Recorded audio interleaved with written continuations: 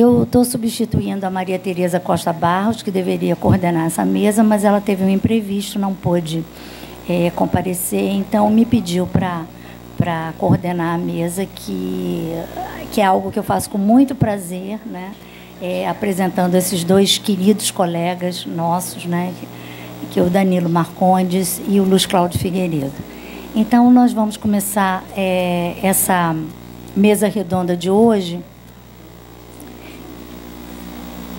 Essa mesa redonda de hoje, ela está relacionada com o aniversário de 50 anos do Círculo e com um pouco uh, intercalando os festejos, a história do Círculo, mas também o que, que a gente pode pensar uh, a partir de 50 anos de, de, uma história. Então, houve a Regina Selle queria muito que se falasse sobre tempo, então essa ideia, a, a ideia de se falar sobre tempo foi uma, uma sugestão dela, e aí nós pensamos em organizar a fala sobre o tempo de uma forma bastante eclética. Né? Então, e a gente vai reunir um diálogo que eu gosto muito, né? desses diálogos é, transdisciplinares né? entre a filosofia e a psicanálise, enfim. Então, eu passo a palavra para o professor Danilo Marcondes, da PUC, nosso colega aqui do Círculo também de Formação. É, eu passo a palavra para ele.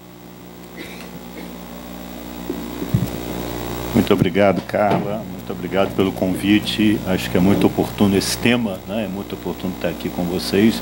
É sempre um grande prazer. Né? Já tivemos outras experiências e foi muito bom. Eu gostei muito de ter sido convidado para falar sobre o tempo. Né? Conceito muito chave na filosofia, conceito muito difícil também. Né? E é interessante porque eu escolhi um autor é, que é talvez até certo ponto o autor óbvio. Foi muito engraçado quando eu comentei com uma colega que eu havia sido é, convidado para falar sobre o tempo. Ela me disse, é mais óbvio, você vai falar sobre Santo Agostinho. Eu disse, como é que você sabe? Porque é o autor que, de certa forma, introduz na nossa tradição essa questão. Então, eu queria falar sobre o conceito de tempo. Tá? Fazer uma apresentação mais conceitual nesse sentido. O que, que a gente pode entender pelo conceito de tempo. Há duas grandes chaves para se entender o conceito de tempo, e eu vou pegar Agostinho para isso, né? não, vou, não, não a exclusão de outros autores, mas me concentrando em Agostinho, é, ele de fato é a origem dessa discussão na nossa tradição, é, e vou depois tentar extrair algumas lições do que ele nos diz para o momento presente. Acho que é sempre oportuno isso, né? Na filosofia a gente reflete sobre a tradição, mas a gente tem sempre um olhar sobre o presente e a gente quer saber o que, que a tradição pode nos dizer sobre a interpretação do presente, o que, que nos pode trazer sobre o presente. Então, é, como eu estava dizendo, é, é difícil conceituar o tempo. A gente sempre começa com a tradição grega, mas aí ela não nos ajuda muito, porque a concepção grega do tempo é, é uma concepção cíclica, que Nietzsche tematizou muito bem no Eterno Retorno, né? é o conceito grego de tempo, é cíclico, porque não existe nem começo nem fim, então deve ser cíclico. É, e os gregos, como acontece com frequência em relação ao vocabulário latino, eles têm no mínimo quatro é, termos, quatro expressões para o tempo, aonde os latinos têm apenas uma tempo, tempos. Né? Então, os gregos têm Cronos, mesmo essa terminologia varia. Tem Cronos, que chega a ser um deus, se vocês pegarem lá é, o início dessa discussão, Exíodo, né? é, isso aí, é, de, Cronos é um deus, ele está na origem é, da, do cosmos, né? Cronos e, e Gaia estão na origem do, do cosmos, mas depois Cronos se torna o termo corrente para tempo, o que a gente chamaria de tempo ou temporalidade. Depois eles têm o conceito de Aer, que é a eternidade, né? que é esse tempo que não tem início nem fim, que é a eternidade. Depois eles têm o conceito de Kairos, que é o momento, o momento oportuno, né? que é o momento em que nós tomamos uma decisão, que é o momento que nós devemos é, ter uma sensibilidade para ele. Mas o termo mais comum, por exemplo, o termo que Aristóteles comenta nas categorias, o termo que ele usa para tempo nas categorias, é simplesmente o advérbio de tempo quando. Né? É poté em grego. Então, essa terminologia que varia e que os latinos sintetizaram tudo só em tempo, é, a gente tem a sensação que perde alguma coisa aí. Né? Perde alguma coisa quando a gente reduz toda essa riqueza, ou pelo menos complexidade conceitual, num conceito único ou num conceito só. Então não há grande discussão sobre Cronos na filosofia grega. Em Platão, por exemplo, Platão fala sobre Cronos uma única vez na, no Timeu, é o texto em que ele discute o problema do tempo. Os outros é, textos ele não discute. Aristóteles, no trabalho, no texto muito famoso, o Tratado da Física, Tratado da Física 4, é onde ele fala sobre o tempo e é onde ele introduz o problema que, de certa forma, Agostinho vai retomar e que é o problema que até hoje, quando a gente discute isso na filosofia, de certa forma também, entre os físicos, essa, essa questão aparece. Porque lá Aristóteles pergunta se o tempo existe ou não.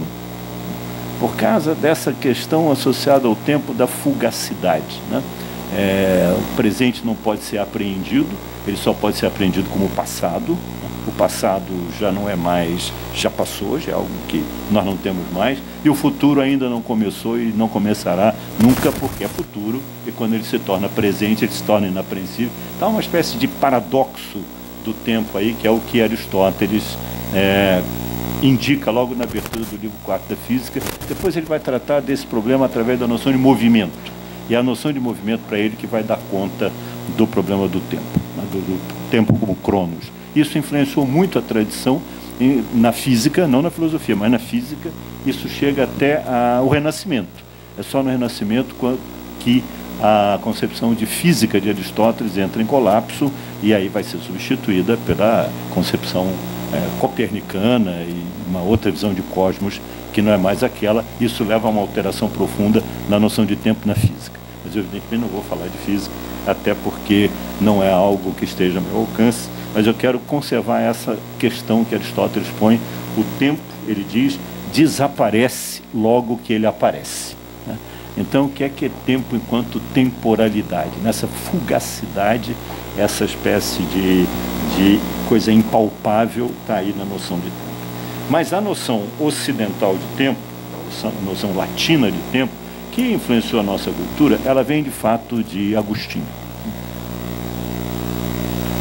Agostinho viveu de 354 ao 430, é o primeiro grande pensador latino. Né? É, a gente até costuma dizer lá, quando discute a história da filosofia, fala sobre isso os alunos, para os alunos, desde Platão e Aristóteles, o primeiro grande pensador que surge né, nessa estatura absolutamente genial é de fato Agostinho. Ele está, em muitos casos, na fronteira entre a teologia e a filosofia, está mesmo. É difícil naquele momento se fazer essa distinção, ela não era feita ainda de forma tão marcante como ela é para nós hoje, é muito óbvia para nós hoje, não era naquela época. E Agostinho foi um pensador que é, introduziu grandes reflexões em muitas e muitas áreas da filosofia. Né? Ele traz realmente vários conceitos novos. Ele é um grande pensador da subjetividade. É, isso é muito relevante para a nossa discussão aqui. Infelizmente, não vou entrar nesse é, tema porque está relacionado ao tempo de forma apenas tangencialmente. Mas é o grande pensador da subjetividade enquanto interioridade. Né? Herda isso de Platão, obviamente, mas ele é o grande pensador da subjetividade. É um dos grandes pensadores da linguagem. Né? elaboração que Agostinho faz sobre linguagem é, foi fundamental no desenvolvimento da tradição, é uma referência muito importante e é um pensador fundamental para a discussão da liberdade e do livre-arbítrio. Quais são as escolhas que nós fazemos, se nós fazemos escolhas. É um pensador que tem duas fases quanto a isso. Há uma fase determinista e há uma fase em que Agostinho valoriza a liberdade. Mas eu queria falar realmente sobre o tempo, é a proposta, e eu acho que é uma proposta muito oportuna e muito bem escolhida, e é um grande desafio sempre tentar entender isso que logo que aparece, desaparece, como dizia Aristóteles. Né? E Agostinho vai, no início, pelo mesmo caminho. Eu vou começar então com um texto, que é o texto mais famoso de Agostinho. Eu não vou me concentrar nele, não, mas eu vou começar com ele porque é o texto que é, teve um impacto enorme na tradição. É as Confissões. Né? Confissões é o texto em que, que Agostinho é, escreve, fazendo uma espécie de autobiografia, de reflexão autobiográfica, que vai ter uma influência imensa na tradição. E, por exemplo, basta citar as Confissões de Rousseau, né, que retomam exatamente o espírito é, do Agostinho ali. E nas Confissões, Agostinho ele reflete sobre a conversão dele ao cristianismo. não começou cristão. Né? Agostinho foi durante muito tempo maniqueísta e esse maniqueísmo marcou muito o pensamento dele. Ele sempre teve que discutir sobre essa questão. Uma das grandes questões para ele, e até hoje uma referência para nós, é a relação entre o bem e o mal. Né? Como é que isso é, se, se combina, essa luta eterna do bem e do mal. Ele vai tentar é, superar essa dicotomia, mas de qualquer forma é sempre uma questão muito presente para ele. Então, As Confissões é um livro que tem esse caráter né? de autoexame, né, de confissão mesmo, no sentido de tentar se compreender melhor, se é, como diz ele, que nós conseguimos nos compreender melhor de alguma maneira. E para isso, evidentemente, a noção de tempo é uma noção fundamental. E a passagem, talvez esse autor aqui, que é um autor que eu gosto muito, que é o Jean-Luc Marion, um autor francês contemporâneo, que não é um especialista de Agostinho nem Platão, especialista em Descartes, ele fala que é, esse texto de Santo Agostinho talvez seja um dos textos mais citados da filosofia, né? que é uma passagem muito famosa lá do livro 11 das Confissões, lá no final já do livro 11, porque as Confissões é, é um texto que vai e volta, vai e volta, ele vai retomando não, o que ele já disse antes, e aí ele vai fazer uma, formular uma famosa aporia, né? sob forma de um paradoxo mesmo, que é um paradoxo que ele acha que a noção de tempo, principalmente, coloca para nós. E ele formula da seguinte maneira: Eu sei o que é o tempo, mas quando alguém me pergunta, eu não sei responder. Né?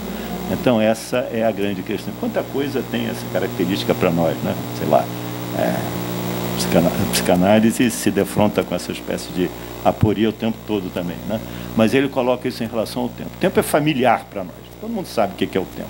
Né? Todo mundo tem uma, uma, uma concepção de tempo. Mas quando eu preciso definir o que é o tempo, eu já não sei mais.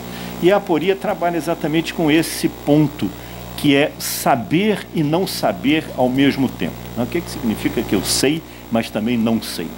Existe um saber espontâneo, existe um saber talvez do senso comum, a gente poderia dizer, existe um saber da nossa experiência, existe um saber da nossa vivência, mas quando me perguntam sobre isso, ou seja, quando eu preciso refletir sobre isso, eu percebo que esse saber não é tão claro ou tão evidente quanto me parecia. Né? Então eu tenho um desdobramento aí de um saber, de um não saber, como se fosse um saber e um meta-saber que eu preciso realizar para saber o que eu sei, né? e entro numa espécie de espiral conceitual aí que, que é muito interessante e que ele é, se tornou o tempo, é, o, se tornou um dos temas centrais do Agostinho. E o Marion chama atenção, no tanto, para uma coisa, uma dificuldade aí, né? a flexão deve acompanhar essa dificuldade, e o, essa aporia é muito citada. Mas Agostinho resolve a aporia, ele não fica na aporia. Né? Aliás, ele faz isso com frequência em relação a muitas das questões que ele coloca. Ele dá uma solução. Né? Não é um pensador da aporia como Sócrates, não, ele dá uma solução. Né?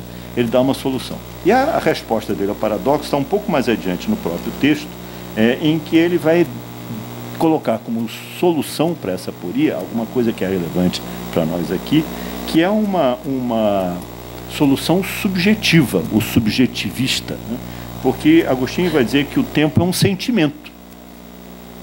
Ele não é um objeto, um objeto externo, como seria para Aristóteles, da física, né? discutido na física, mas ele é essencialmente um sentimento algo, diz ele, que pertence à alma.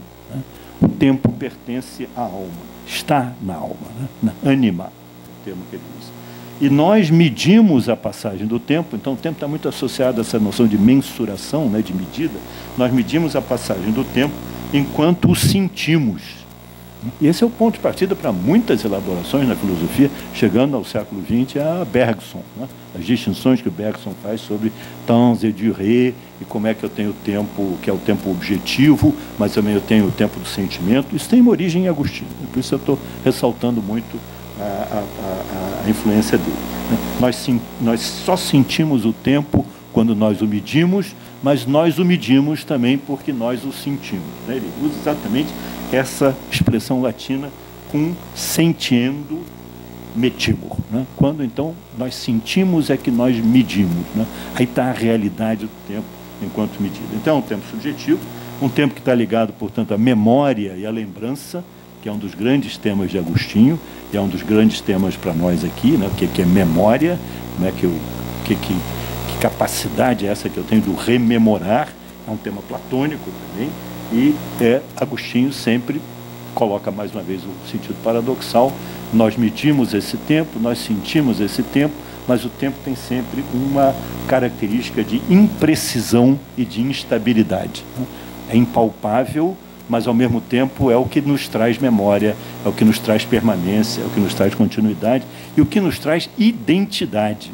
Né? A nossa identidade é uma identidade que se constrói ao longo do tempo, embora de forma problemática, porque ela depende da memória, ela depende de como essas experiências vividas podem ou não ser retomadas.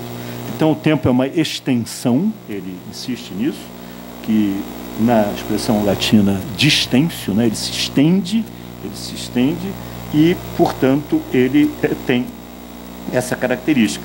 O passado é aquilo a que nós só temos acesso como lembrança e o futuro, o presente é inapreensível, mesmo paradoxo, né? Porque só pode ser aprendido quando ele se torna lembrança, mas quando ele se torna lembrança ele já perde essa nitidez né, do, do presente. O presente é aquilo que a gente vive com nitidez, mas é fugaz. Né? E o futuro, futuro é consequência, é previsão, é espera, é expectativa. Né?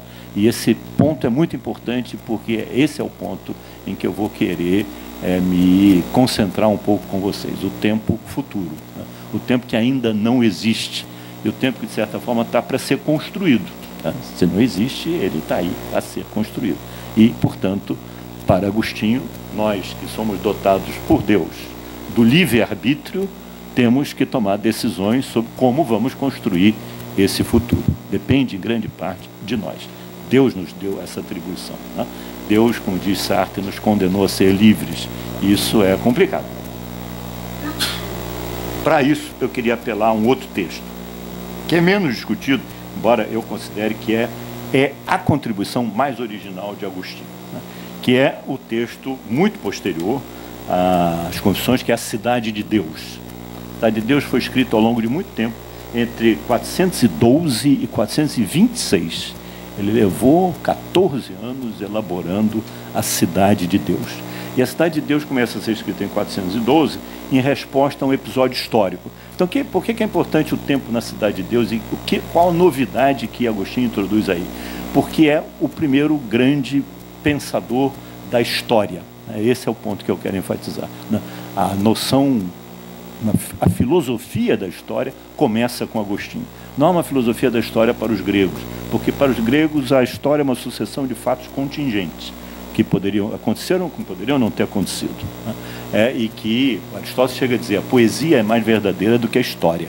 Porque a história são fatos que a gente interpreta, que aconteceram como poderiam não ter acontecido, e a poesia não. A poesia se refere a, a emoções, né, a sentimentos, e esses são mais autênticos do que os fatos contingentes da história. É uma afirmação muito surpreendente para nós, porque Agostinho vai começar a dizer exatamente o contrário, né, que a história é sob o pano de fundo da história que sempre a nossa experiência se dá e é só sob o pano de fundo da história que ela pode ser compreendida. Então, qual é o papel do filósofo da história? Trazer esse pano de fundo para a cena principal. Né? E como é que começa? Começa com um episódio histórico, não poderia deixar de ser. Né? No ano de 410, o chefe visigodo Alarico é, destrói Roma é, primeira grande ocupação de Roma, invasão de Roma, saque de Roma. É, Alarico destrói Roma e saqueia Roma durante três dias. Roma já não era mais a capital do Império Romano do Ocidente, a capital era Ravenna, é, mas o imperador, portanto, não estava em Roma, o imperador Honório estava em Ravenna, mas de qualquer forma, Roma tinha um simbolismo fundamental, né? cidade eterna, capital do Império até então, toda aquela coisa. E isso dá, gera uma polêmica muito grande, porque os pagãos, naquela época, apesar do cristianismo já ser religião oficial do Império há algum tempo, os pagãos, a população pagã era muito forte ainda, e os pagãos acusam os cristãos de serem responsáveis pelo saque de Roma, porque o cristianismo tinha enfraquecido é, Roma. Né? A religião do dar a outra face, a religião da não violência, etc., tinha impedido que é, o exército romano reagisse é, adequadamente à invasão dos visigodos e destruísse. E Santo Agostinho vai dizer que não é nada disso. Né? Que dizer isso, olhar para um episódio como esse de uma maneira tão pontual é exatamente esquecer a história. Né? Não ver que esse episódio é o desdobramento de muita coisa que já vinha acontecendo, de muita coisa que acontecerá. Então ele faz uma reflexão sobre a história. Vai dizer, nós temos que é, toda a primeira parte do texto é sobre esse episódio né, do saque de Roma, tentando refletir sobre isso, tentando mostrar o que, que isso significa. Bom, o império que tinha abraçado o cristianismo está sendo agora ameaçado por bárbaros. Né? Isso é, um, é, é, o que nós estamos andando para trás, né? nós estamos perdendo alguma coisa que nós conquistamos, a duras penas, a civilização, né? a cultura está sendo destruída é, e, portanto, é, como compreender isso? Isso parece incompreensível. Né? E Santo Agostinho vai, ele no fundo é um racionalista, ele vai dizer nada é incompreensível, né? desde que a gente desenvolva os nossos instrumentos de reflexão e de é, interpretação do que está acontecendo. Ao mesmo tempo, nada é, é, nada é compreensível totalmente. Né? Nós estamos sempre, esse foi um dos grandes pontos também da contribuição de Agostinho, nós estamos sempre interpretando. E foi um grande exegeta. Né? E foi um grande exegeta. Então nós estamos sempre interpretando. E é isso que ele tem que fazer. Vamos interpretar esse fato. Né? O que, que significa o saque de Roma? E ele vai dizer o seguinte: não, não dá para interpretar este fato sem entender todo um processo histórico que começa lá, como não poderia deixar de ser, para ele no Gênesis. Então, o recurso que ele tem é o Antigo Testamento. Né? E ele vai retraçar toda a história para chegar àquele momento é, no, uh, olhando para o livro do Gênesis e olhando para o que ele coloca, esse é o ponto fundamental para nós, como a lógica da história. A, a história tem uma lógica, né? Tempo, a temporalidade tem uma lógica. E é essa lógica que nós podemos entender, porque é essa lógica que nos fará entender o momento presente. E, ao mesmo tempo, esse é o ponto que eu quero enfatizar, é essa lógica que nos aponta para o futuro a ser construído. Então, ele pega o, o, o Gênesis e ele vai dizer: todo o processo histórico começa quando Adão é expulso do paraíso. Ah, e ele vai ver todo esse processo histórico como um processo de alianças entre o homem e Deus e alianças e momentos em que o homem se afasta de Deus. Cidade de Deus são os momentos da aliança, cidade dos homens, ou cidade terrena, são os momentos de afastamento. Então ele vai retraçando essa lógica. Criação de Adão, criação do homem, criação de Eva é a grande aliança. A expulsão do paraíso é a primeira ruptura com a aliança. E depois nós vamos, através desse processo, olhando para Caim e Abel, olhando para Noé, olhando para Sodoma e Gomorra, olhando antes para o dilúvio, olhando para Abraão, olhando para Moisés, olhando para o cativeiro da Babilônia. Então eu vou conseguindo estabelecer, faz isso muito elaboradamente, né? estabelecer os momentos em que o homem se aproxima de Deus, da providência, se a gente quiser chamar de uma forma mais neutra, né? da providência, e os momentos em que o homem se é, aproxima de Deus, em que ele faz uma aliança e que ele está próximo. Só que a lógica interna do tempo, né? a lei da história, digamos assim, é determinada pela criação do homem, pelo momento inicial. Esse é um ponto muito importante nessa discussão toda. Né? A lei da história é determinada pelo seu ponto de partida, que garantirá, e esse é o ponto para ele também, e esse é o ponto que eu quero trazer para a reflexão nossa principal, é, que determinar a escatologia, ou seja, o final do processo. O processo tem um final, não é um processo em aberto para ele. Então, o, o, o ponto central do Agostinho é o entendimento do momento presente não pode ser feito apenas por um olhar sobre o presente, mas o entendimento do momento presente deve retraçar todo um processo que nos leva até o momento presente, para que a gente possa entender esse momento presente à luz do processo todo e dentro dessa lógica da história. Mas o ponto principal, ao meu ver, não é nem esse, né, do, do, da lógica da história. O ponto principal que eu queria ressaltar, e que está aí nessa ideia da aliança e da quebra das alianças, da ruptura com as alianças, é que a visão de tempo de Santo Agostinho é histórica e é dialética. Eu queria então ressaltar a dialética do conflito e da superação do conflito, do conflito e da superação do conflito. Então, a lição que ele extrai do saque de Roma é esse é um momento de conflito. Né? Portanto, é um momento que nós estamos enfrentando destruição. Esse é um momento negativo da história. Né? Vocês estão vendo já a lógica hegeliana presente aí. Hegel foi muito fortemente influenciado por Agostinho, nessa concepção dialética de, de tempo de história. Ele diz isso nas lições de história da filosofia e foi muito e portanto essa influência se é, chegou a partir daí em versões secularizadas, evidente a Marx. Né? Há uma concepção de dialética da história igualmente herdada, reinterpretada, obviamente, não é a mesma coisa nem de, nem de perto, mas a, a origem dessa discussão de um tempo histórico e de um processo dialético que é o processo da história, está em Agostinho. E eu preciso exatamente sempre entender essa dialética como um processo de conflito e de um processo de superação do conflito, né? e de afastamento e de ruptura. E só a é, retomada do processo porque houve um afastamento e ruptura. E, e, e, a cada momento que eu retomo o processo, essa espécie de motor da história, né, que é o processo de afastamento e de ruptura, o conflito, portanto, conflito é essencial, né? em todo o processo dialético, o conflito é essencial. É o motor da história, sem conflito não haveria processo, né? haveria estagnação, haveria alguma coisa que seria imutável. Né? Então, é, é essa ruptura que deve ser, que é desfeita para ser refeita. E a cada momento em que essa ruptura é desfeita, ela precisa então ser refeita. E cabe a nós que vivemos aquele momento como os romanos que viviam lá o período do saque de Roma, refazer esse processo. Então, embora Santo Agostinho seja um teólogo né, e acredite centralmente na providência divina, ele não está esperando pela providência, não. Cabe a nós, no caso, é uma lição para os cristãos, né? cabe a nós, cristãos, naquele momento, contra os visigodos, refazer essa aliança, refazer o processo, reinvestir nesse processo todo. Então, é, é, é dessa forma que ele vai é, propor que a gente possa interpretar a história, interpretar cada momento que nós vivemos. E é aí que entra o futuro, né? porque nós não reinterpretamos apenas a história. Não é um olhar apenas histórico no sentido de um olhar para trás, né? tentar entender o momento presente como consequência de desdobramentos dessas rupturas e dessas retomadas de, de, de, de aliança que ocorrem no passado. Mas quando eu entendo esse processo, à luz da reflexão histórica e no sentido dialético, eu passo a entender a lógica do processo e para onde a lógica do processo me aponta no futuro. Né? E, portanto, no nosso desafio de construir o futuro. Essa é a grande lição que se pode extrair do, da reflexão sobre o tempo histórico em Agostinho. Quando nós vivemos um momento negativo da história, ou de uma sociedade, ou de um contexto, ou de um momento de conflito, nós temos que ver aí o que, que isso aponta para o futuro que cabe a nós construir e qual é o nosso papel no processo de construção de futuro.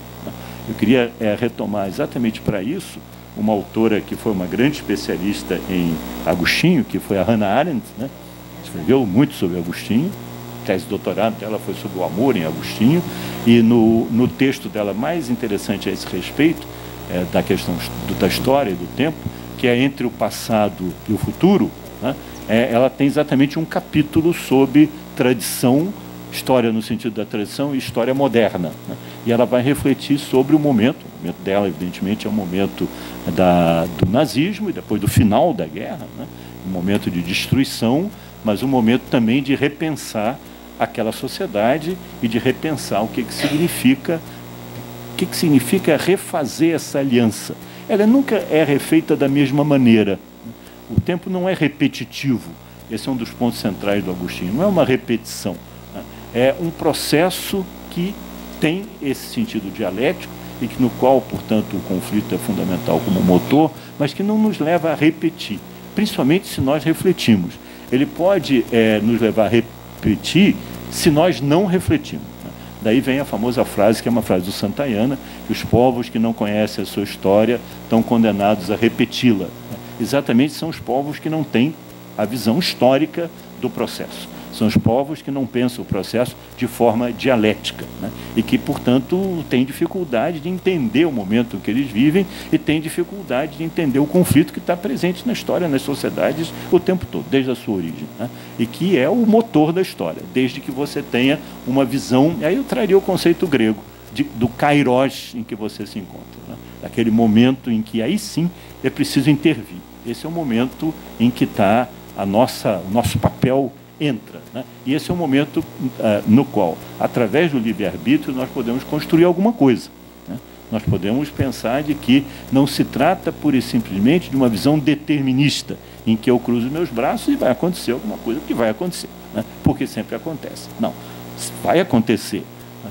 mas acontecerá enquanto processo de refazer alianças através de uma reflexão histórica nossa que mostre a necessidade de refazer essas alianças. Né? E que é só quem tem essa capacidade, uma reflexão histórica naquele momento, que olha para o passado, entende o presente e pensa então o futuro, projeta o futuro. Né? O futuro sempre é um projeto, é sempre uma expectativa, né? mas não é uma expectativa no sentido passivo, é um projeto no sentido de alguma coisa que se constrói a partir daí. É só aí que eu posso, de fato, ter qualquer expectativa de que alguma coisa possa se transformar. Então, esse é um momento sempre transformador. E o que ele está dizendo é o seguinte: o saque de Roma por Alalico em 410, um homem que está destruindo a cultura, né? que está destruindo os templos, que está destruindo os teatros, né? que está destruindo as bibliotecas. Roma era exatamente isso. Né? Qualquer relação é mera coincidência. Embora Agostinho não acredite em coincidências, eu estou falando do saque de Roma por Alarico do ano 410, né? lá longe, bastante longe de nós. Mas, de qualquer forma, com uma perspectiva histórica, qualquer relação que a gente faça é, pode ser exatamente nesse sentido. Então, é, é essa o, o, é isso que Hegel diz nas lições de História da Filosofia, que nós temos que extrair da história uma lição. Ah, e, e, não nos vermos como passivos na história, nem vermos os momentos negativos como inevitáveis e sem nada que se possa fazer, mas vermos os momentos negativos como parte do processo e que vem trazendo possibilidade de construção de um futuro que finalmente será a retomada de uma aliança e passará para o momento é, seguinte. Esse momento seguinte virá, Agostinho diz isso, olha, vocês têm que acreditar nisso. Mas não é simplesmente, simplesmente acreditar, é também fazer alguma coisa com base nessa crença. Né? É, nós não somos atores, nós não somos é, observadores, espectadores passivos, nós somos atores, nós somos agentes do processo. Né? Então, é, é, eu acho que essa lógica do tempo, essa visão agostiniana do tempo, e histórica e dialética, ela vem ser retomada no momento moderno, né? essencialmente por Hegel, Hegel vai ser, depois de Agostinho, o primeiro grande pensador da história. Isso está muito claramente nas lições de história da filosofia e nas lições de filosofia da história de Hegel. Está também na Fenomenologia do Espírito, nos outros textos de Hegel sobre isso, quando, por exemplo, Hegel reflete na Fenomenologia do Espírito, é uma passagem meio surpreendente. A gente está lendo a Fenomenologia do Espírito, a experiência da consciência, aquela coisa toda. De repente tem um capítulo, um pequeno capítulo lá no meio sobre o terror. O terror, o que isso tem a ver? Né? 1792, né, quando ah, o Robespierre toma o poder na França, no contexto do diretório, e é, manda executar mais de 10 mil pessoas em Paris entre 1790, não só em Paris, entre 1792 e 1794, até que o próprio diretório manda executar o Robespierre, que já não dava mais. Né? Ele é a última vítima de si mesmo, poderíamos dizer assim, a última execução feita pela guilhotina lá é, no que hoje é a Praça da Concórdia, que naquela época era o centro das execuções. Então Hegel diz, olha, não adianta nós ficarmos falando em abstrato sobre consciência e subjetividade, se isso não nos ajuda a entender este momento. O que, que foi o terror? Né? Dentro de uma experiência que seria uma experiência de um processo de racionalidade na história, Revolução Francesa, abolição dos privilégios, coloca Deus a razão na igreja da Madeleine e de repente ela desanda no período do terror, então Hegel vai dizer nós temos que entender esse processo e quem nos ajuda a entender esse processo é Agostinho. Quando Marx, ao mesmo tempo, retoma é, essa questão, né, e vai discutir 1848, vai discutir todo o processo histórico pelo qual a Europa passa em meados do século XIX, para onde isso aponta, ele está se referindo à leitura hegeliana que tem essa matriz agostiniana o meu, a minha sugestão, a minha proposta é exatamente essa. Né? É ler Agostinho, porque ele nos traz essa possibilidade de extrair lições do nosso momento presente, lições que olham para o conflito, lições que olham para o conflito de forma dialética, e lições que olham para o conflito de forma histórica. Né? e que nos permitem entender qualquer momento em que nós estamos é, vivendo e os conflitos que nós estamos, pelos quais nós estamos passando, numa perspectiva da historicidade que nos leva à transformação. A lição agostiniana é uma lição de transformação. Mas a transformação não pode ser feita de forma pura e simplesmente voluntarista. Né? É ponto, aliás, em que o velho Marx insistia muito. Não há voluntarismo. Né? Há vontade, há ação, mas não voluntarismo. Porque o voluntarismo supõe que é, eu possa, de uma, espontaneidade, é, obter os resultados e, e provocar as consequências que eu quero. Não, não posso. Eu só posso fazer isso olhando para esse pano de fundo em que eu me situo, como eu dizia no início, trazendo esse pano de fundo para a cena primeira. Né? Essa cena primeira é exatamente quando a história, que está lá no pano de fundo, é, se apresenta como aquilo que dá significado à nossa experiência, não só a nossa experiência individual, aqueles que sofrem naquele momento, mas a nossa experiência como sociedade, a nossa experiência como comunidade, a nossa experiência como cultura. Né? Ali parece aos romanos que a cultura romana está sendo destruída no saque, né? mas ela não foi destruída. É uma referência para nós até hoje. Né? A, a, obra que foi legada, né? filosófica, histórica, arquitetônica, artística, é, ela no direito, no campo de direito, está aí. Né? Então, não é um episódio histórico como o saque de Roma que destrói uma civilização, porque essa civilização é muito mais é, complexa do que isso, é muito mais é, forte do que isso, e ela terá o seu papel na medida em que nós pudermos fazer, refazer as alianças que foram feitas e que levaram até aquele momento. É para onde, então, o momento presente aponta. Né? E a lição da Hannah Arendt de que nós temos que olhar para o futuro, nós temos que pensar o futuro. Né? A lógica do tempo é a lógica que nos leva para o futuro. Não se trata apenas de um olhar para o passado, a famosa lanterna na popa, né? se torna é o olhar que, interpretando o passado, pode nos trazer uma lição para o presente. Então, o que eu queria trazer como conclusão é isso. É preciso sempre para nós, hoje, né, seja onde quer que a gente esteja, é, entender a nossa história e construir o nosso futuro. Obrigado.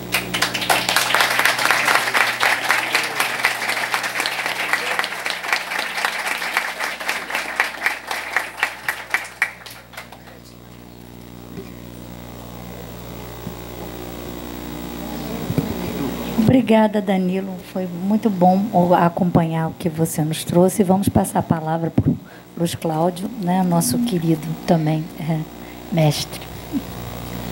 Um bom dia a todos. Queria começar agradecendo aos que me convidaram, aqui os colegas do Círculo, que me convidaram para participar dessa sessão, e agradecer muito ao Danilo pela esplêndida aula que nos ofereceu. Eu queria começar dizendo que eu ouço falar do Danilo há muitos e muitos anos, porque na década de 80 eu fui professor aqui na PUC do Rio de Janeiro e lá eu fiquei muito amigo da Ana Maria Ribeiro Coutinho, uma colega que era muito amiga minha e também muito amiga do Danilo. E através dela eu ouvia muito falar do Danilo e só hoje eu vinha conhecê-lo pessoalmente, uma coisa meio impressionante.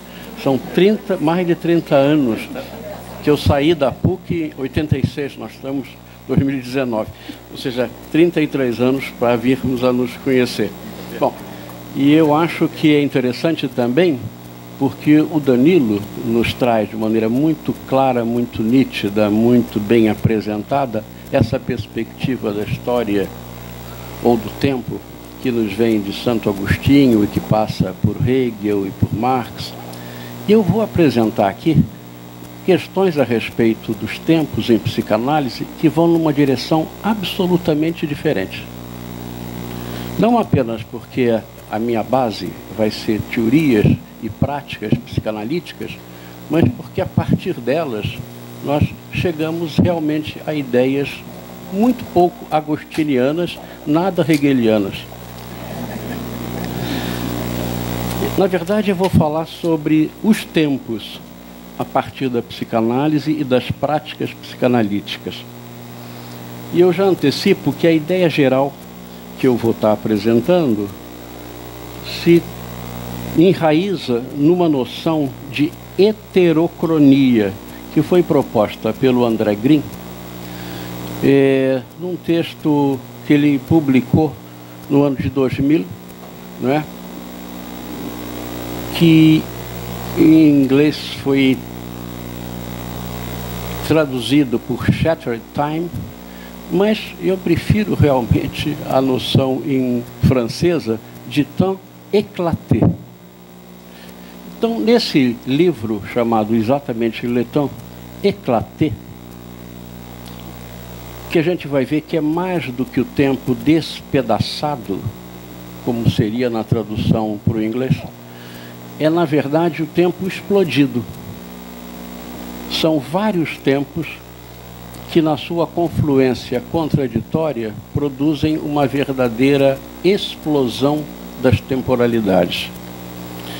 Então, a noção de heterocronia do André Green me levou a uma apropriação pessoal. Eu não vou estar aqui repetindo o que ele desenvolveu no livro Leton Eclaté e num capítulo especial desse livro, mas eu vou desse capítulo extrair uma citação, porque eu acho que ela dá, digamos, as balizas daquilo que eu vou tentar apresentar. Ele fala a heterogeneidade diacrônica do aparelho, do aparato psíquico. Então a ideia é de que o aparato psíquico ele comporta instâncias de tempos diferentes que funcionam com temporalidades distintas. Ele diz é acentuada graças à diferença de estrutura entre as agências e a forma em que os efeitos das várias formas de temporalidade são escritas nela. Então, o nosso aparato psíquico ele funciona simultaneamente com temporalidades diferentes. O tempo, e por isso eu acho que a tradução para o inglês não é lá muito boa, não está mais só em pedaços. Suas partes estão em estado de tensão entre si. Ou seja, estado de tensão é um potencial explosivo. E, na verdade, ele fala do tom éclaté já, digamos, em processo de explosão.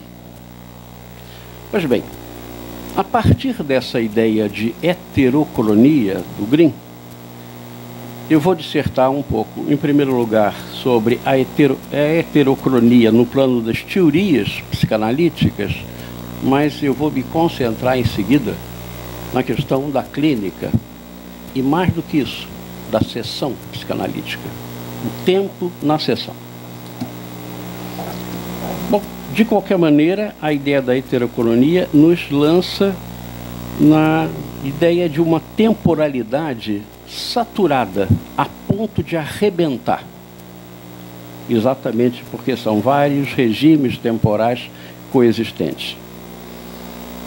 Bom, há coisas que dizem respeito ao que seriam tempos, a tempos cronológicos, não é? a tempos que podem, de alguma maneira, ser medidos, se não pelo relógio, mas por alguns marcadores. Por exemplo, o tempo evolutivo, o tempo desenvolvimentista, o tempo maturacional, que nos vem da biologia, mas que já aí contém aspectos que vão na contramão da maturação, da evolução, do desenvolvimento, porque são os aspectos do passado filogenético e ontogenético que insistem, que retornam, que se repetem, que efetivamente não passam. Coisas que, afinal de contas, contrariam aquilo que seria a temporalidade biológica, mas está inscrita nela.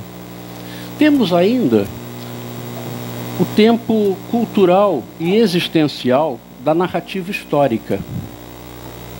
Mas aí, novamente, com aspectos de um tempo antecipado, que é o da pré-compreensão na interpretação do passado e do presente a partir de projetos né, de um futuro projetado, o que resulta naquilo que em psicanálise traduz o conceito freudiano de Nachtrechlichkeit. Segundo a tradução francesa, porque há duas traduções bem diferentes, não é? A tradução francesa e a tradução inglesa. O Nachtrechlichkeit, na tradução francesa, diz respeito ao a, posterioridade, aquilo que no depois, no só depois, ressignifica uma história, ressignifica um passado. Mas também esse tempo cultural e existencial, ele nos fala da determinação e apoio do projeto, do presente e do projeto de futuro no passado. Coisa que exatamente por isso levou, na tradução inglesa, a falarem in deferred action, ou seja, ação retardada, ação diferida, alguma coisa que do passado vai se manifestar ou vai se realizar apenas na, digamos assim, no futuro. Bom, de qualquer maneira, nós já temos aqui motivos para falar em uma historicidade complicada. Não é? Não só porque nós temos principalmente essas duas dimensões de processos históricos que nos vêm ou das ciências da natureza e da biologia e que nos vêm das ciências da cultura e da história, mas porque cada uma dessas dimensões já comporta elementos que vão na direção oposta. Ou seja, não temos efetivamente a possibilidade de entendermos esses processos segundo alguma linearidade, um movimento que vai apenas numa direção. A temporalidade que nos interessa enquanto psicanalistas, ela vai, volta, retorna, ressignifica, projeta, reprojeta. Ou seja, a rigor, nós nunca sabemos durante um atendimento em que momento do tempo nós estamos. Em cada sessão, é claro, podemos olhar para o relógio e ver, bom, já passaram-se 10 minutos, 5 minutos ou 20, mas isso é de uma absoluta inutilidade. Porque o que se passa efetivamente conosco, ali dentro, na relação com o paciente, não se conforma a qualquer linearidade. Eu vou falar mais sobre isso daqui a pouco. Mas há coisas que acontecem no finalzinho de uma sessão que a ressignificam inteiramente. O tempo é outro a partir daquilo que está se dando na posteridade de algo. E, ao mesmo tempo, coisas que nós escutamos agora, elas vão se revelar ou elas vão se significar durante, sei lá, os próximos minutos ou as próximas sessões. Há coisas que eu ouvi numa sessão e que só vão fazer sentido dali a dois meses, a dois anos. Pois bem, então nós temos essa complicação enorme nas temporalidades cronológicas, até certo ponto cronológicas, mas que comportam esses outros elementos complicadores. E há, certamente, nas duas, algo a ser enfatizado no que eu chamaria de contratempos. Não é? Ah, temos os tempos, mas temos os contratempos. Os contratempos da pura repetição, o tempo circular. O Danilo falou do tempo cíclico dos gregos, pois bem, nós vivemos em análise o tempo cíclico. Não é? Também vamos falar do tempo kairos, do tempo da oportunidade, da decisão. É? Mas o fato é que a ciclicidade dos tempos com que nós temos que lidar cria sempre o contratempo para aquilo que poderia ser a marcha de um tempo que vai e que avança numa única direção. Então, a pura repetição, o tempo circular da insistência pulsional, que aparece claramente na problemática das transferências, no conjunto, nós temos que lidar com a atemporalidade, aquilo que foi chamado de atemporalidade do inconsciente. Os nossos processos, por mais históricos que sejam, eles não excluem o atemporal.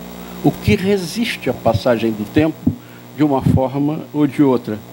Isso vai incluir o inconsciente recalcado e seus retornos, o inconsciente cindido e seus retornos pré-representacionais, vou falar mais adiante do, do que seja, e também as defesas inconscientes cronificadas, de uma certa maneira eternas. É lógico que a gente espera que com o trabalho de análise elas possam ser confrontadas, dissolvidas, desconstruídas, mas na constituição do psiquismo elas não podem ser ignoradas, não é? Defesas cronificadas.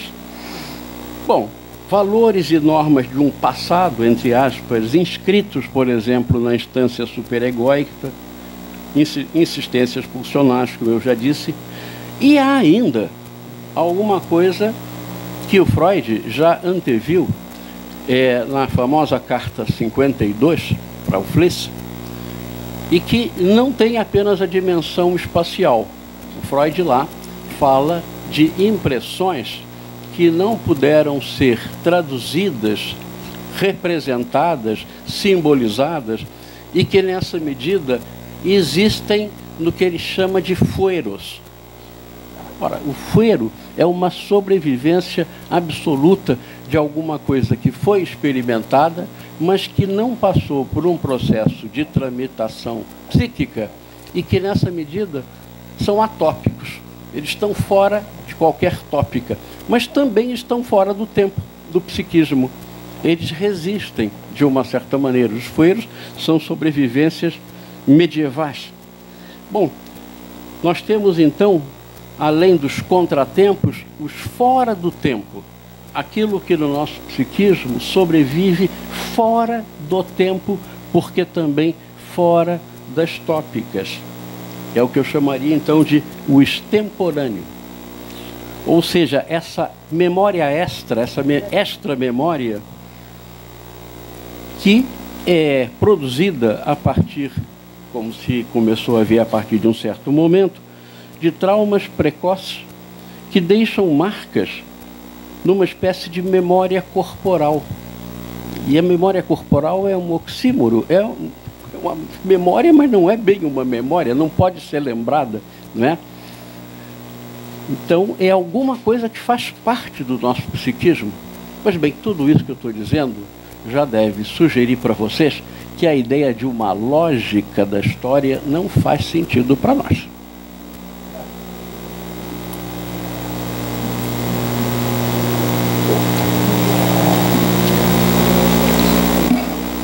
Bom, e finalmente, para complicar ainda mais um pouquinho, não podemos também ignorar esse outro tempo que se aproximaria então da duração bergsoniana, que é o tempo da vivência, que é um tempo puro, é um tempo infinito, indivisível, e que, no entanto, ele faz parte, mas ele não pode também ser historicizado, ele não pode ser segmentado, ele não obedece a marcos e balizas, e isso daí também faz parte do nosso material. Nós lidamos também com essa pura temporalidade das vivências que escapa a qualquer possibilidade de cronologia.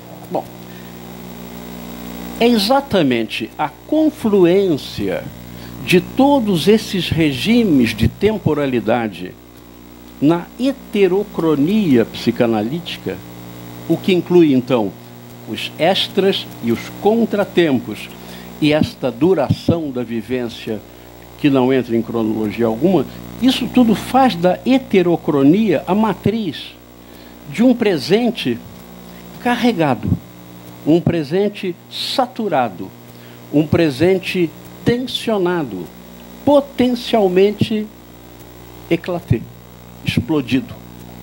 Pois bem, é tudo isso que nós precisamos atrair para uma sessão de análise. Ou seja, uma sessão de análise é a confluência de todos esses tempos desconjuntados e potencialmente explosivos. Esse é o nosso material. O nosso material não é histórico. O nosso material é o que vem do psiquismo em toda essa diversidade tensionada que produz essa explosão. E nós temos que dar graças a Deus por isso, porque essa é a condição para nossa prática ter alguma efetividade. Nós precisamos produzir efeitos exatamente contando com o fato de que o psiquismo é essa confluência de tempos tão díspares e contraditórios. Bom, vou então, a partir de agora, falar da minha concepção dessa outra dimensão da heterocronia, que eu chamaria esse é o tempo estritamente psicanalítico, o aqui e agora da sessão. Qual é o tempo ou quais são os tempos de uma sessão de análise com suas fraturas, esburacamentos produzidos pelas tensões e explosões? Antes de entrar focalmente nesse tema, eu levanto a seguinte questão: qual é a noção de experiência que nos serve para falar da experiência da psicanálise? A psicanálise, do meu ponto de vista, é fundamentalmente uma experiência. O que nós oferecemos a nós, enquanto analistas, e aos pacientes, é um campo o campo analítico é um campo de experiências extremamente intensas e extremamente mobilizadoras.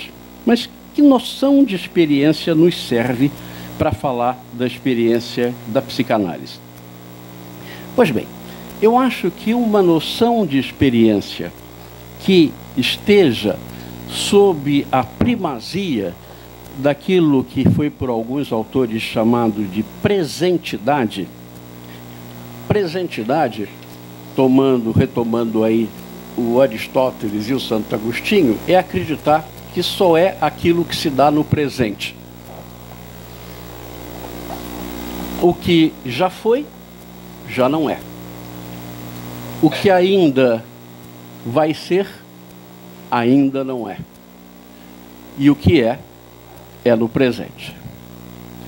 Para essa, e aí vem a aporia de que falou o Danilo, não é? como resolver essa questão, afinal de contas, porque para o que nós sabemos do tempo é que ele contém passado, presente e futuro.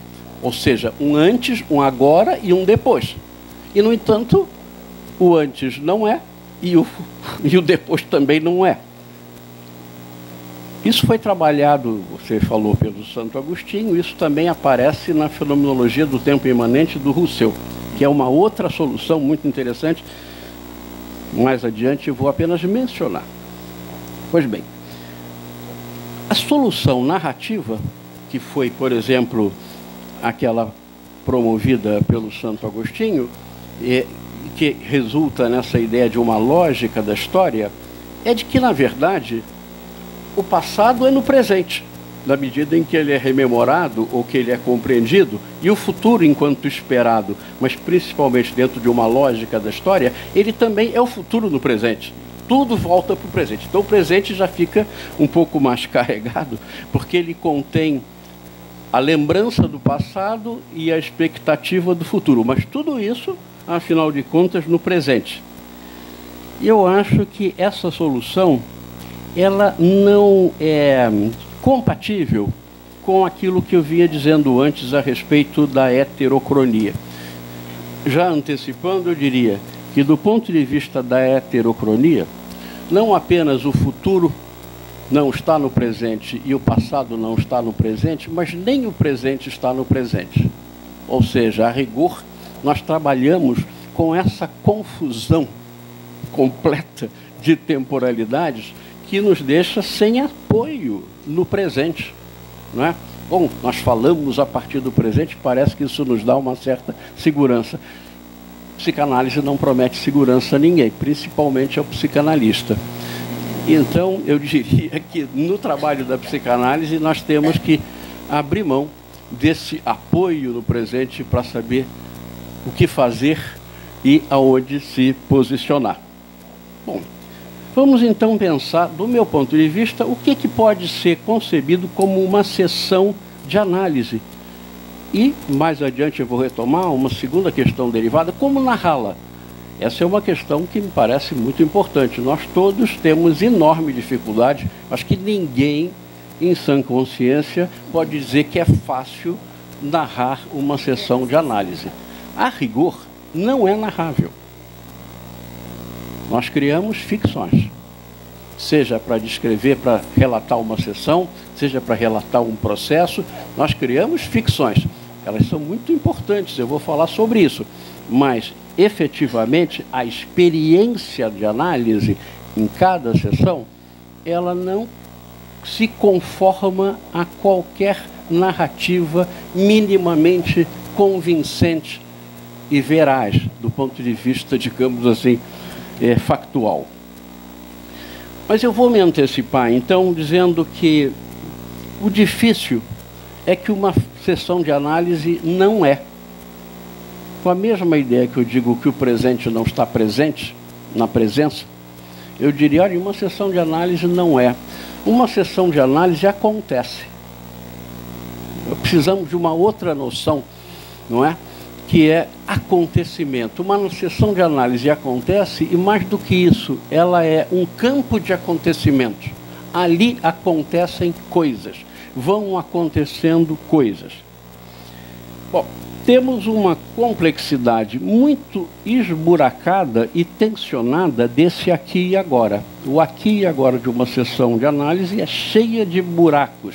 Por isso eu falo, é uma matriz de acontecimentos exatamente sob a força de todos esses elementos contemporâneos, contratemporâneos, extemporâneos, atemporais, que incidem nesse aqui e agora.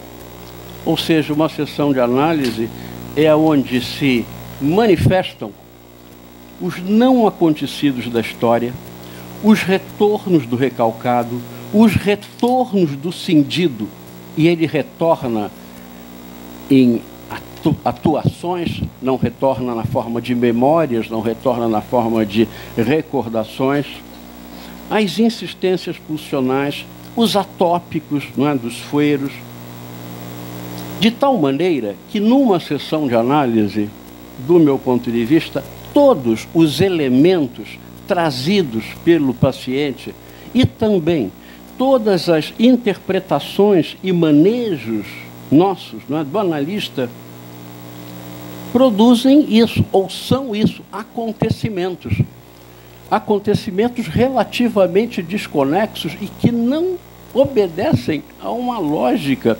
previsível e a uma lógica reconstituível. E daí a dificuldade de fazer a narração, porque a gente ou fica no despedaçamento completo dos vários acontecimentos que vão se dando, ou então tenta simplesmente criar alguma coisa, inventar alguma coisa que seja de alguma forma equivalente àquilo que foi vivido ali. Então, uma sessão de análise, eu diria, ela marcha de acontecimento em acontecimento. Ela não tem propriamente, ela tem uma evolução, a gente pode ver a, a, posteriori, mas fundamentalmente a cada momento nós temos que estar com a escuta completamente disponível para o próximo acontecimento sem poder de jeito nenhum prevê-lo, pré-compreendê-lo. E aí surge efetivamente uma questão de método, método de escuta. Que disposição de mente é necessário ao analista para que ele faça contato com essa pluralidade de acontecimentos que escapam a uma lógica pré-estabelecida. Não é? Fora da lógica, fora da previsibilidade. Bom, eu retomaria aqui o ensinamento de Wilfred Bion, que fala de uma disposição de mente que começa com o que ele chama de capacidade negativa. A capacidade negativa é a capacidade de esperar o inesperado, de manter-se à espera, pacientemente à espera de alguma coisa que é inesperada e que só tem interesse exatamente porque ela é inesperada. Mais detidamente ele vai esmiuçar essa capacidade negativa da mente do analista numa atenção flutuante, porque essa é a maneira do Bion interpretar o conceito freudiano de atenção flutuante, ele vai dizer é preciso escutar sem memória, sem desejo e sem compreensão prévia. Sem memória é exatamente escapar da, do aprisionamento em qualquer coisa que já tendo acontecido. Ele vai ser muito radical com aquele paciente, seja naquela sessão, seja ao longo de todo um processo, possa predeterminar, digamos assim, o sentido da escuta. A escuta tem que estar completamente disponível para o acontecimento e não para a lógica da sessão ou para a lógica daquela, digamos, da, eh, do desenvolvimento daquela personalidade. Então é sem memória. Quando ele fala em sem desejo, bom, isso inclui várias coisas, é inclusive sem o desejo de curar. É sem o desejo de chegar ao fim. Sem o desejo de concluir bem aquela sessão e concluir bem aquele processo analítico é disponibilidade total para o acontecimento da sessão, sem qualquer predisposição para um final determinado. E sem compreensão prévia é exatamente poder se desprender de tudo que poderia nos preparar para pré-formatar a nossa escuta. Bom, eu vou novamente atender aquela pessoa, portanto, por tudo que eu já li, eu, espero que aconteça isso e aquilo.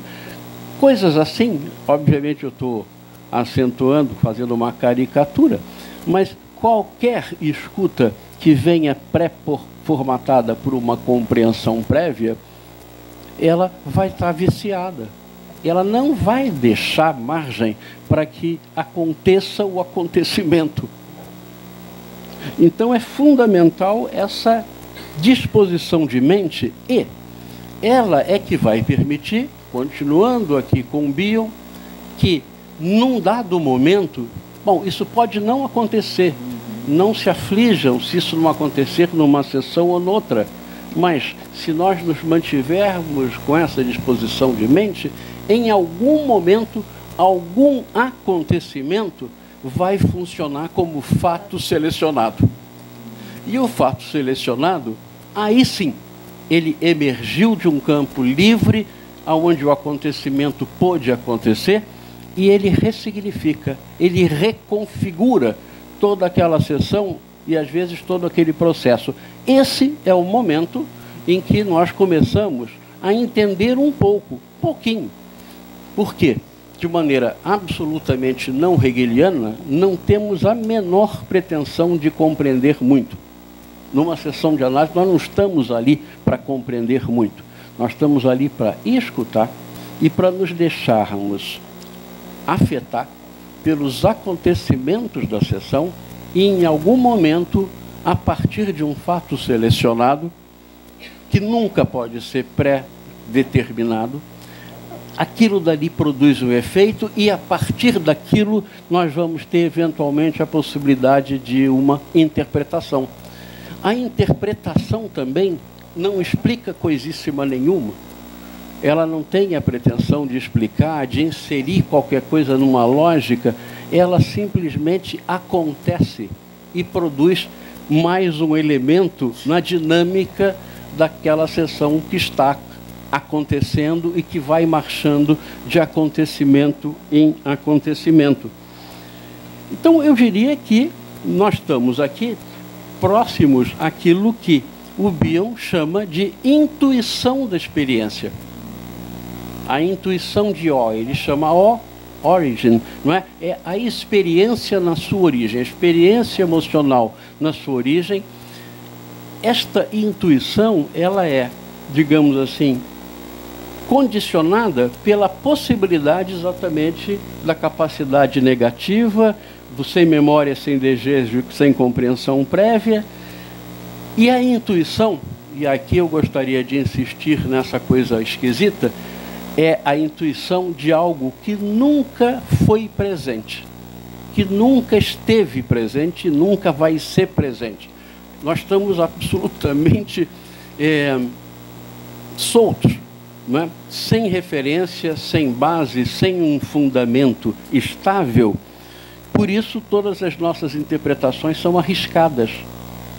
Não existem interpretações completamente fundadas, racionalmente fundadas, completamente justificadas. Nós intervimos num dado momento e vamos ver o que vai acontecendo procurando não errar demais, mas sem nenhum critério absoluto de que estamos certos naquele momento ou em qualquer outro.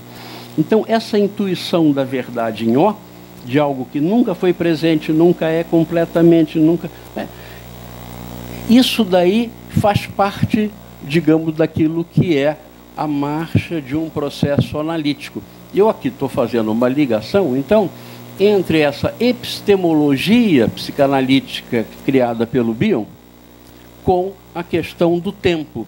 É exatamente porque o nosso tempo tem essa complexidade, mas também nos oferecem essas muitas oportunidades de escuta e de produção de acontecimentos disruptivos que nós podemos intuir e que nós podemos intervir também sem premeditação não é? naquilo que está se passando entre nós e nosso paciente. Bom, essa maneira de apresentar o caso fala de uma dimensão da prática psicanalítica. É a prática psicanalítica que se desenvolve a partir daquilo que nós chamamos de uma matriz freudo-kleino-bioniana, aonde o fundamental é fazer contato e produzir efeitos no tempo descontínuo, o tempo da descontinuidade, nesse tempo da explosão. Mas eu vou agora acrescentar um novo elemento para tornar a coisa ainda um pouquinho mais complexa. A gente sabe que, além da psicanálise dita padrão, clássica, mas enfim, essa psicanálise que foi se desenvolvendo e foi crescendo e se refinando a partir de Freud, de Melanie Klein, e eu acho que chega com o Bion a um ponto extremo de sofisticação, nós temos uma outra vertente. E é uma vertente que pode ser chamada, por exemplo, de análise modificada, que foi o nome que o Winnicott deu a ela, não é? Mas o fato é que o que vai caracterizar esta outra modalidade da prática analítica contemporânea, muito importante, é a ênfase na continuidade. Ou seja, aqui nós vamos para uma matriz que pode ser chamada então de Ferenczi Balint Winnicottiana, aonde se recebemos pacientes com algumas falhas básicas na sua constituição psíquica e que não tiveram, por essas falhas ambientais, condições adequadas de amadurecimento emocional de organização mínima do seu self, do seu si mesmo, da sua, digamos, capacidade de se diferenciar do ambiente e dos seus objetos. E quando a questão desses pacientes é a de amadurecimento insuficiente, nós vamos ter que lidar com estratégias de trabalho analítico voltadas para dar as bases, a sustentação básica para um perseverar no ser ao longo do tempo. Isso é fundamentalmente a tarefa daquilo que foi chamado pelo Winnicott de holding. O holding é isso, é criar condições de base para o existir ou ser no tempo, ser ao longo do tempo, o tempo do amadurecimento.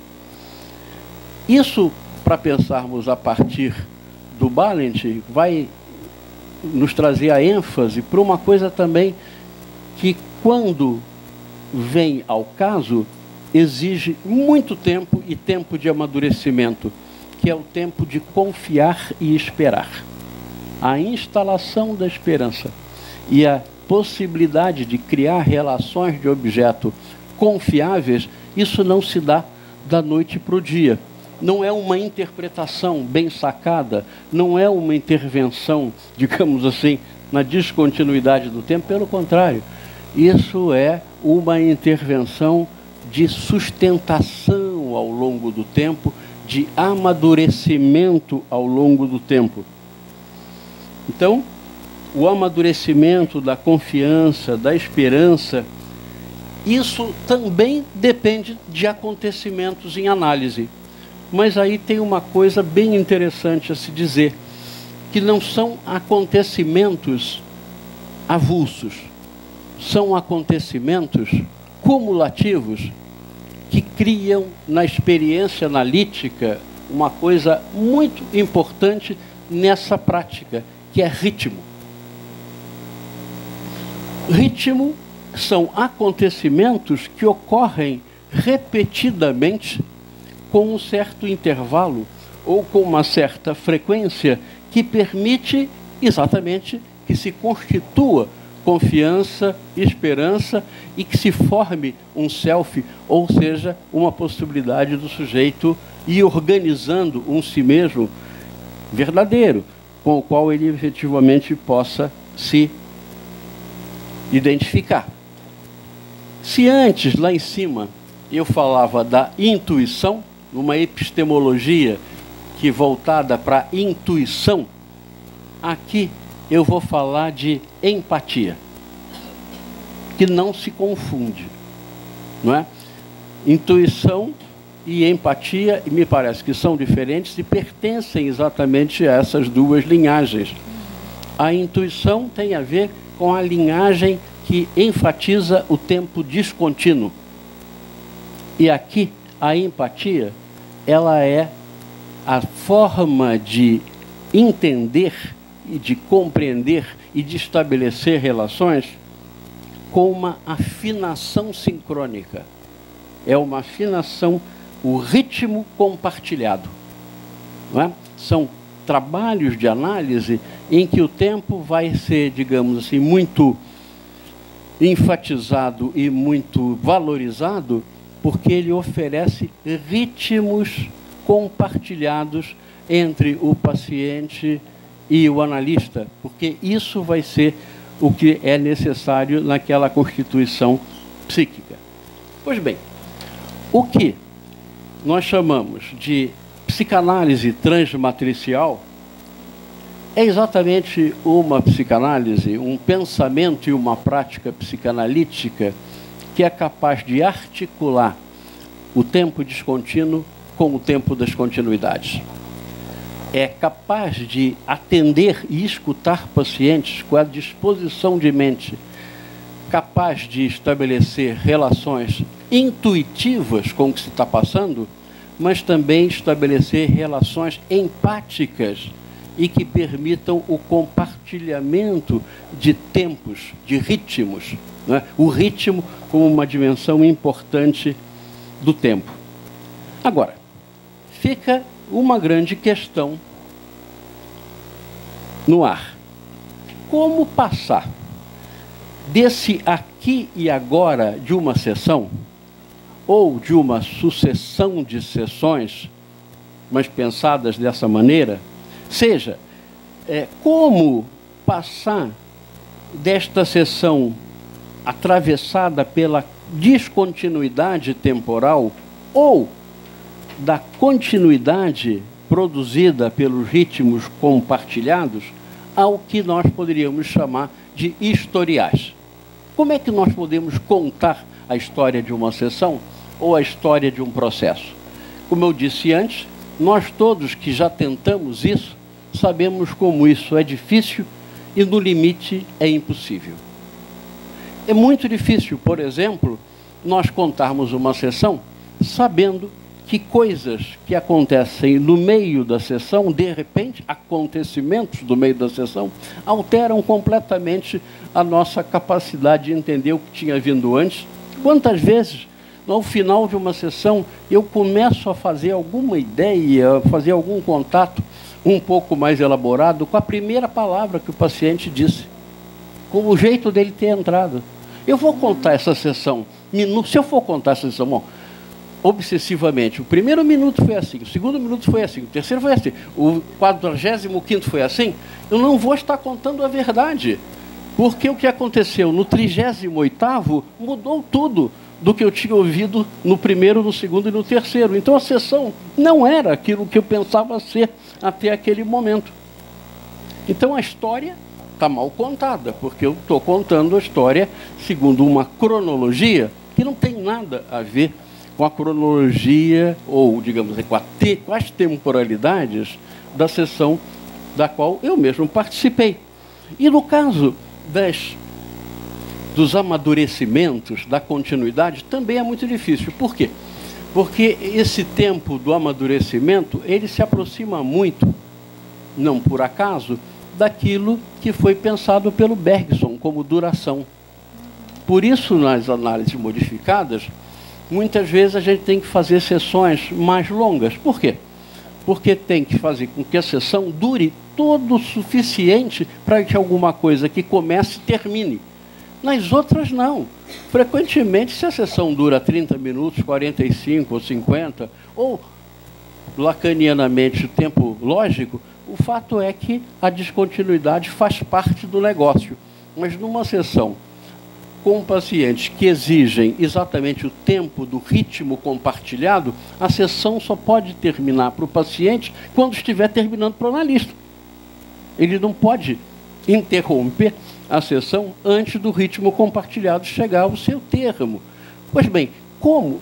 E essa noção de duração bergsoniana, ela é completamente incompatível com a marcação, com a segmentação. É, é outra coisa.